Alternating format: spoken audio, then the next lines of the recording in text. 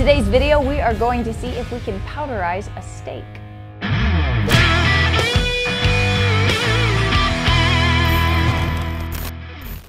Guys, in the past, we've dehydrated a number of things, but all of them have been liquid, or at least mostly liquid.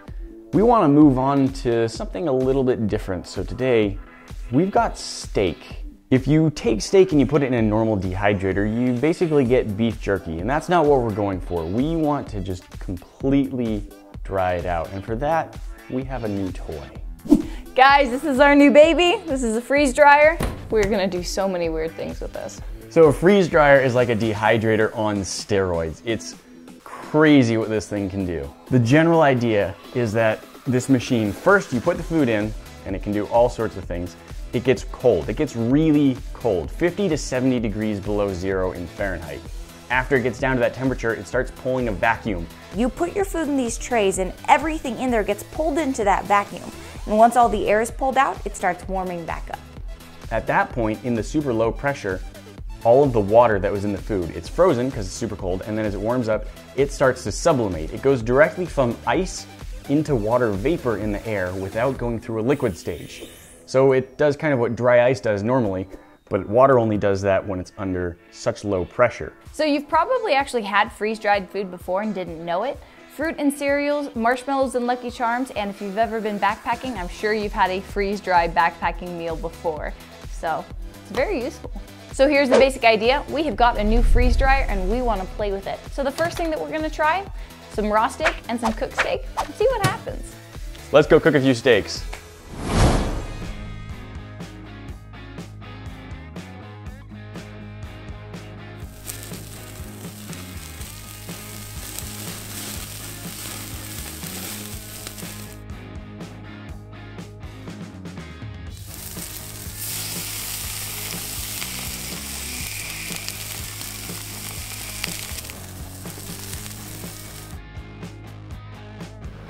Lovely. Germs will survive the freeze drying process, so this is not like cooking or even dehydrating with salt on it where you can then eat it. Like this, this is not gonna kill germs. So if we freeze dry these steaks and then tried to eat the raw freeze dried steak, we're at just as much risk as if we're eating the steak raw, which isn't a ton, but it is something.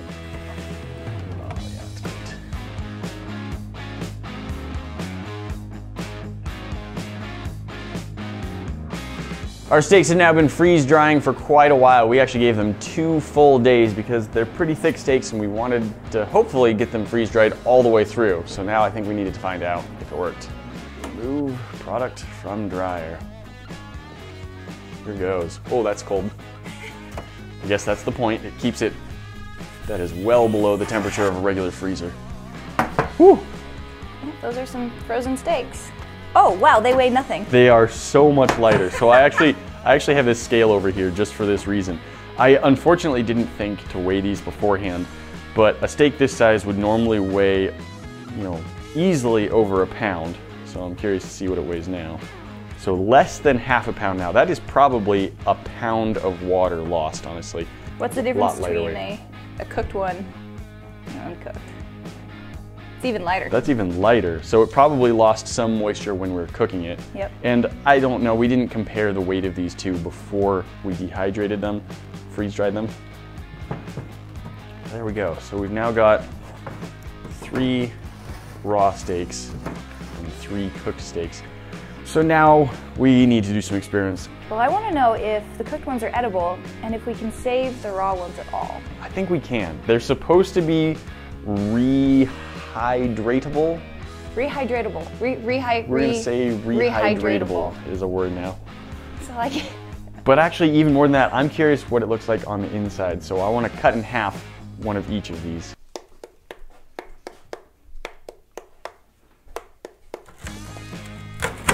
Wow.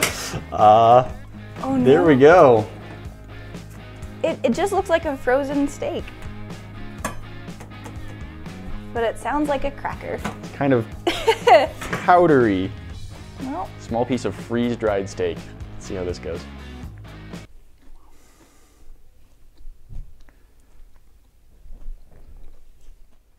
It's like a steak cracker. I actually like it. Yeah? Yeah. I did, I, not a lot. Oh, more. Tastes like a roast beef, but one that you've overdone by about four days. Well, this will be my snack now. That's good. Got a little piece here. I'm gonna see what happens if I dip it into some hot water. See if it will sort of reconstitute into cooked steak. A lot of air bubbles. Well, it lost all the pretty color. I think it was. It's too hot. This water is hotter than you should actually cook a steak. So So you're gonna put it in your mouth.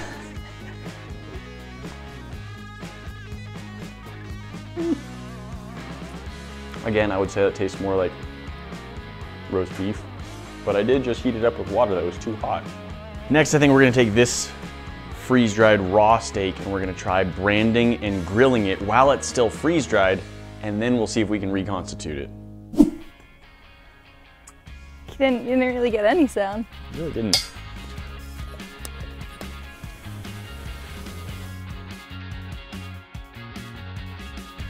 Whole steak just melted. Whew.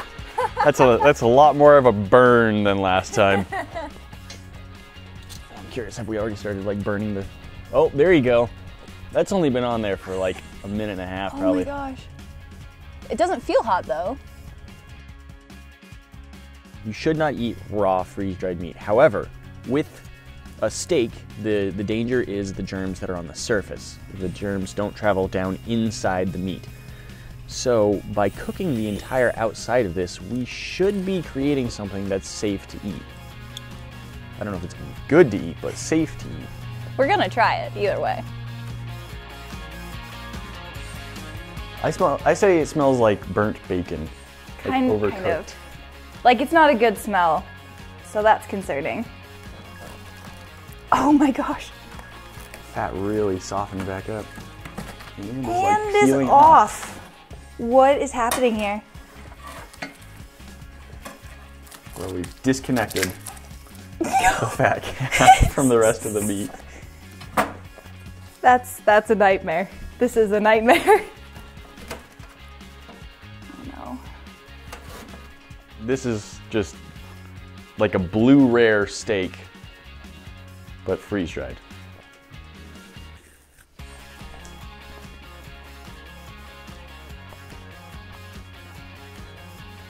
It's softer. Not as bad as I was expecting. We've got a couple more cooked steaks. These are safe to eat, Yeah. and they're also very dry. To the point that you could literally just break it in half.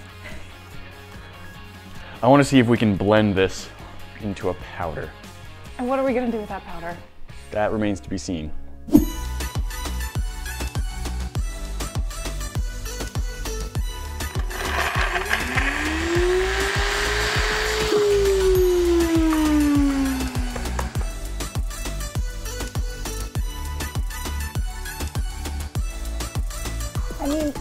Make shredded chicken spreads. Why not a shredded steak spread? This is very, very shredded.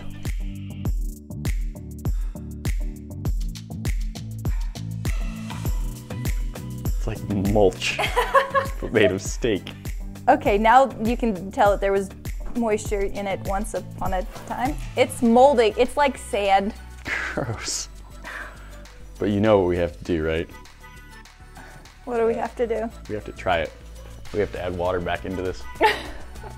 You really want to make a protein smoothie? We're gonna make a steak smoothie. Oh. Say when. Say when. Start with that. Okay. Good. That looks great. Wait. Add salt. Add a little bit of salt. There's no way we're not gonna regret this. All right, here goes the grossest thing that has ever been done on this show.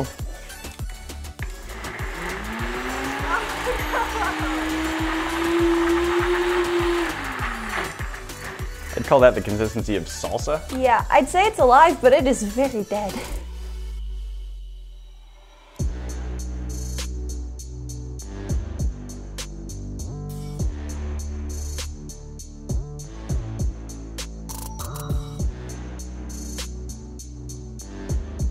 Guys, we got the hacksmith here with us, and he, apparently he is very brave because we now have two textures. We've got one that had some water, and it's sort of like a, you described this as cat food consistency. Yeah, it looks like cat food. I, to be a little more generous, I'm gonna say it's like about the consistency of like tuna fish. And then we have a thinner consistency. It's actually been mixed with more water, and it's about consistency of a thin milkshake or a smoothie. Does anybody want to give us a three, two, one on our deaths? Three, three, I'm going for it. one. No! You know, I thought it would be worse. Oh, Okay, actually, if you put that on a cracker, I could get through it. Cheers.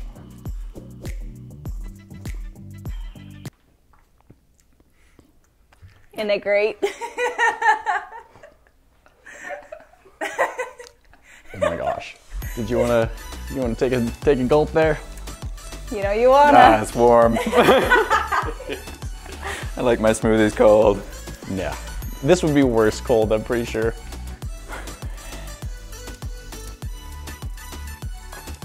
Oh, you don't know. He's going for it.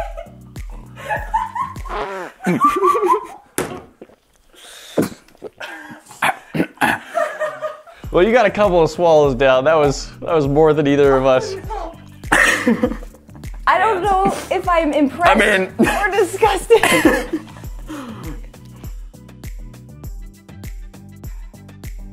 Well, I'm going back to Canada. That's fair. I approve. We're weird, we know. Yeah, he's out. He's bye. Hacksmith is out. That was too much for him. We scared him off. He's gone. Like I just had breakfast, so I'm not even hungry. Uh, I- this would taste better if I was hungry.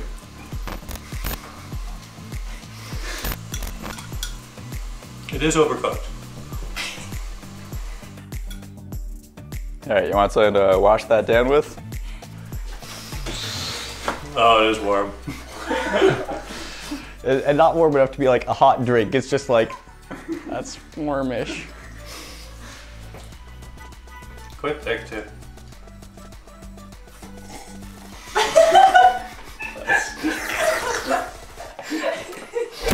Guys, we've got a sale going on right now. A couple of shirts in our store, including this one, are $19.99. Click that link in the description below.